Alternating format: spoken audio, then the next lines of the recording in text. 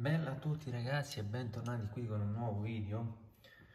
Questo video è diciamo è la, il continuo del coperchio punterie. Come vi avevo detto non ho più rimontato livebox proprio per questo motivo perché oggi andremo a smontare il gruppo farfallato perché è molto sporco.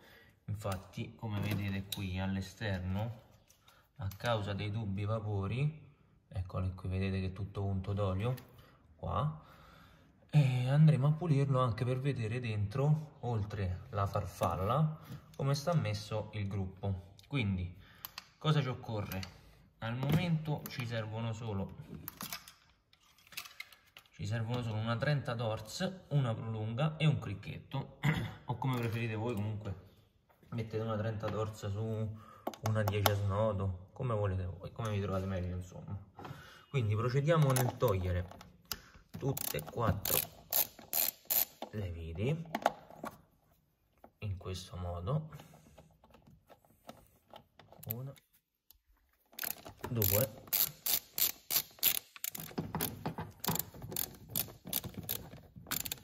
ma non può dure perché siccome sono abituate sulla plastica anche quando andremo a rimontarlo bisogna fare attenzione a non spanare la sede perché sotto abbiamo eh, il gruppo farfallato si alloggia sul, sull'aspirazione quindi in plastica.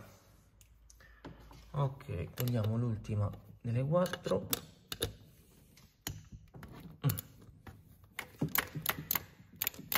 E dobbiamo fare anche attenzione a quando togliamo il gruppo nella guarnizione sottostante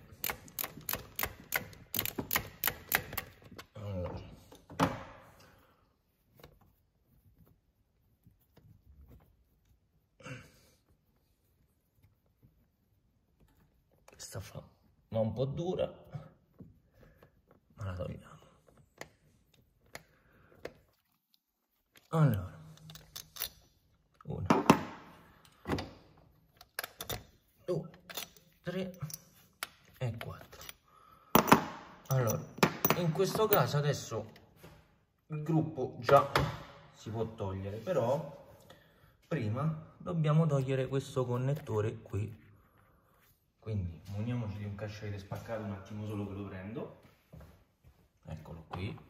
Allora togliamo la linguetta gialla e spingiamo su questo. In questo modo linguetta gialla indietro verso di là e più pressione su questo tasto e sfiliamo. Ok una volta fatto ciò apriamo anche questo aspetta che non si vede. Questo componente qui diciamo un fermo per questo tubo. Quindi l'apriamo in modo tale che ci dà meno fastidio. Stessa cosa anche su quest'altro che reggono il cavo che è collegato all'acceleratore perché nei vecchi gruppi termici la farfalla si apriva grazie al cavo e adesso le auto tutto tramite cavo. Cioè scusate tutto tramite elettronica. E quindi non è più presente il cavo dell'acceleratore. Allora vediamo se riusciamo a toglierlo. Scusate è un po' un macello perché sono da solo come sempre. Il mio socio dovrebbe ripresentarsi un giorno di questi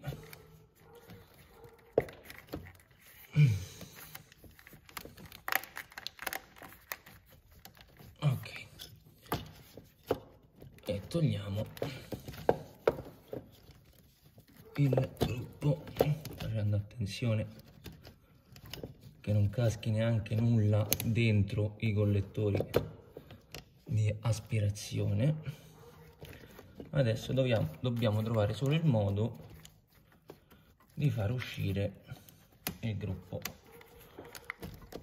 da tutto questo macello. Ecco qui il nostro gruppo.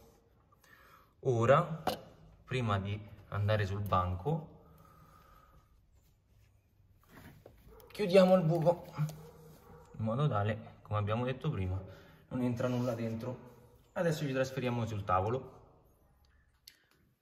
Arrivati a questo punto eh, procediamo con la nel pulire il gruppo che come vedete qua dall'esterno risulta abbastanza pulito però io per scrupolosità l'ho smontato per vedere se anche all'interno ovvero questa parte che non è visibile era bello pulito e in questo caso sì perché vi assicuro che ce ne sta molti ma molti di peggio. Quindi a questo punto noi procederemo nel pulire ovviamente dove era sporco e comunque sia gli diamo anche una pulita direttamente qui intorno alla farfalla perché qui solitamente è sporca. Come fare quindi? Ho preparato in una bacinella un po' di benzina mischiata con dell'acetone e nafta quindi intingiamo il nostro pennello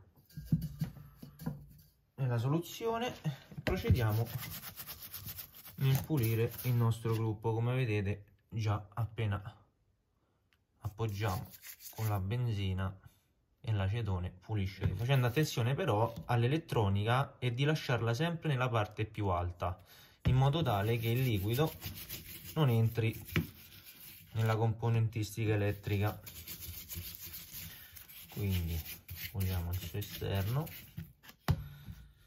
Reintingiamo.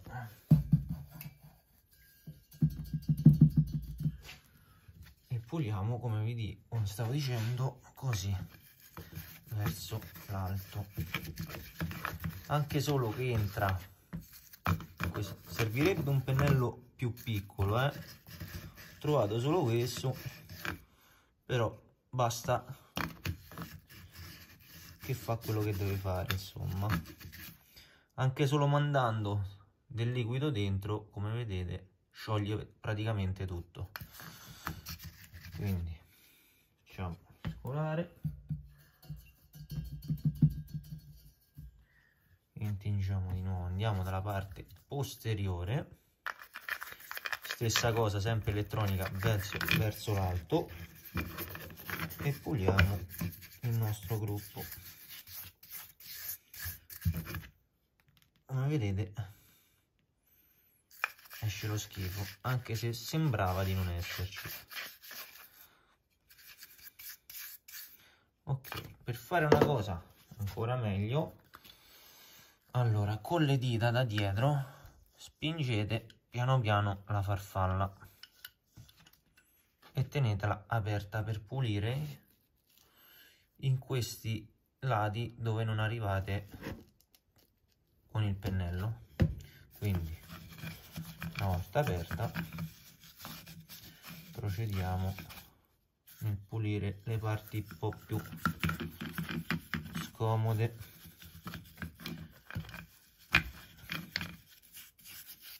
E come vedete si inizia a lucidare per bene. Ok stessa cosa riprendiamo la farfalla in questo modo la teniamo facendo attenzione che non scappi perché comunque stiamo forzando il meccanismo. Ok. Prendiamo un pezzo di scottex. Puliamo la nostra sede. Entrambi cercate di farla asciugare il più possibile tanto se rimane qualche gocciolina comunque sia essendo benzina e acetone evapora quindi non vi preoccupate.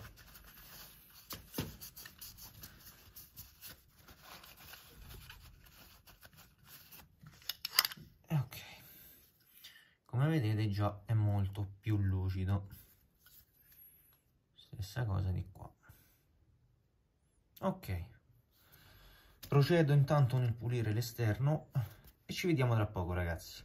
Risparmiato il momento in cui inserivo il gruppo perché era un po' complicato con una mano quindi ho solo riposizionato il gruppo al suo posto facendo attenzione come detto prima alla guarnizione sotto e quindi adesso procediamo come prima cosa subito il connettore non ce lo dimentichiamo perché se no ci fa accendere la spia.